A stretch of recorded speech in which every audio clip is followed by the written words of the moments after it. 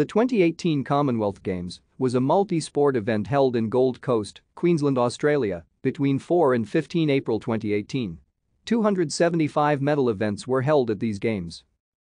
Australia won the games with 80 gold, 59 silver and 59 bronze for a total of 198 medals. The Solomon Islands won its first Commonwealth Games medal, a bronze won by Jenly Tegu Wini in the women's 58 kg weightlifting event.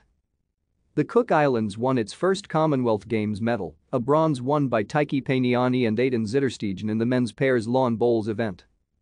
Vanuatu won its first Commonwealth Games medal, a bronze won by para-athlete Friana Kwevira in the women's javelin throw event.